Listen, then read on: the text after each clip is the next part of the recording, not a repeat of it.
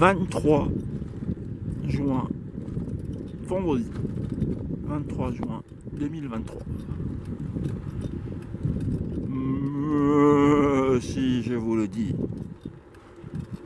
le gouvernement, il gouverne et il ment.